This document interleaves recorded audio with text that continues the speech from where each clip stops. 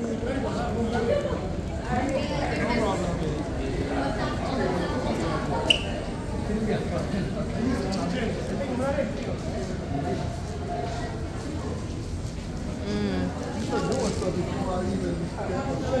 Ew.